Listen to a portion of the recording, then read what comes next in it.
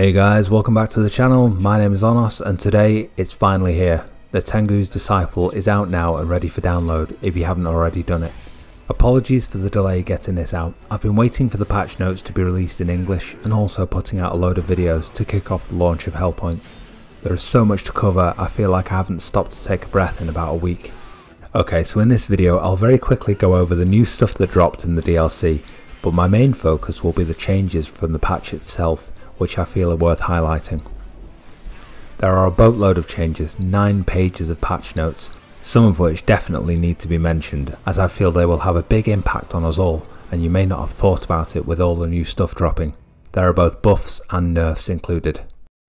So, the headlines are the new weapon, the split staff. From the trailer, that looks amazing and I'm pretty excited to get hold of it and give it a shot. From what it says in the patch notes, this can be accessed from the very beginning of the game, so any newcomers can jump straight on this. We've got a new story to follow, the Tengu's Disciple. To access this, you will need to finish the main story of Nioh 2 first. And of course, a new difficulty, Dream of the Demon. Obviously you'll need to finish both Dream of the Samurai and Dream of the Strong before you can unlock this. Dream of the Demon will give you access to higher max level, higher level soul cores and even higher plus values on your soul matching. We've got new yokai to fight, new soul cores, new guardian spirits, new art of combats, set bonuses and more. We've even got new ninja skills and Onmyo magic skills too. We've got more character customization options including new hairstyles and facial markings, no Touch Throw is no doubt hammering away right now to bring even more character codes to us, so be sure to check out his channel, I'll leave a link in the description. We've got a new feature called Demon Picture Scrolls. The Demon Parade scrolls can be dropped by enemies in Dream of the Strong or above, and allow you to access a mission through the scroll itself. Upon completion of that mission, the scroll can then be equipped. I haven't even had a chance to play the damn game yet, but I assume that this will be some sort of accessory, let me know in the comments if you already know. The picture scroll missions can also be played through the expedition mode in co-op. I'll talk more about some of the new stuff in future videos. I feel that some of the new content needs a video all of its own. So now I'm going to talk about some changes they've made which I think are worth mentioning. I won't cover every single thing as the video would be about half an hour long, but I've retweeted the patch notes on my Twitter account if you want to go and check those out, if you want to read it all. There's some really good quality of life changes which have been added. Some of these are things I've mentioned in the past, so I'm either a genius, or they've been listening, or it's just a coincidence. I suspect it's the last one. Anyone who's been watching for a while knows damn well I'm not a genius. Okay, so we now have a before and after view of the refashioning service at the blacksmith. Now you can preview your fashion before you complete the change. This is an awesome little change. They've added an automatic refill on arrows and ammunition from the warehouse if you die or visit a shrine. They've increased the inventory cap from 500 to 600. At the tea house you can now select which of the bonuses you want to prioritise before selecting the recommended tea set. This means that you can automatically max out your luck for example if you wanted to do that, without having to manually search through your tea set items.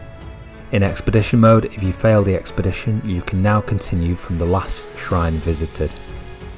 One change I'm really happy about, but we'll need to test how this is balanced, is that they have increased the health pool and power of enemies when a visitor has been summoned. This means that co-op should be less of a walkover and hopefully be more challenging when playing with teammates. They have added a charge capacity for a number of weapon skills including True and Through and Tiger Sprint for the Katana, Twisting Spear Devastating Rush for the Odachi, and Urgency and Devastating Strike for the Tonfas. They've nerfed the melee versus poisoned enemies attribute on accessories. I think we all saw this one coming if we're honest about it. I know some of you won't like that much, but I'd say for the sake of balance, it probably needed to happen. Feel free to scream at me in the comments if you like. There is both good and bad news about the Tengen Guardian Spirit. The potency of his increased attack boost has been nerfed, but it now stacks with other increased attack buffs. The same is also true for Tengen's increased defense buff. This has been reduced in power, but now stacks with other buffs. The Honda clan bonus to active skills has been reduced to be in line with other clans. This is both good and bad. Bad obviously because it's a reduction in power, but good in the sense that we now have more freedom to pick other clans without feeling like we're missing out on something. From the list I've seen, it looks as though almost every other clan has received a buff, so you might want to go and check out who you're aligned to and make some new choices there. There are an incredible amount of bug fixes, a lot of these seem to be related to weapons missing their target or not performing as expected. So in the past for example, I complained about some of the Kusarigama attacks, feeling like they should have hit the target but they missed. This should hopefully be improved, and the changes aren't limited to the Kusarigama.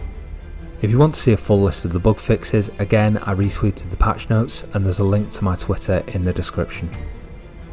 Right guys, I've gone on forever with this one. I'll leave you to go and enjoy the DLC. I hope you found this useful. Leave me a like and comment if you don't mind. Sub if you're new and I'll wrap it up here.